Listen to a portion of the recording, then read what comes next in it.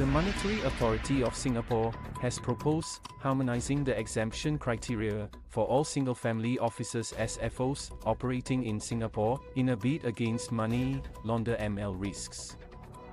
The revised framework will introduce harmonized class exemption for SFOs who meet specific requirements to ensure that all SFOs are subject to anti-money laundering controls. MAS said.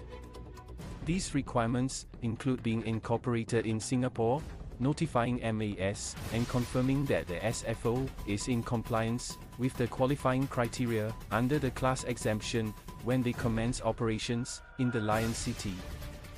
Reporting annually on total assets managed after the end of each calendar year, and maintaining a business relationship with an MAS regulated financial institution. The FI will perform anti-money laundering checks on these SFOs. These measures will allow MAS to better monitor SFOs operating in Singapore and address any ML risks in the sector, Singapore's financial regulator said in a statement.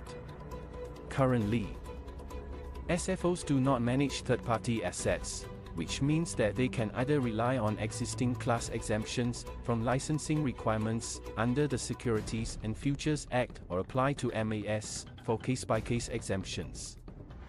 MAS has launched a public consultation on the framework on July 31st and invited interested parties to submit their comments here by September 30, 2023.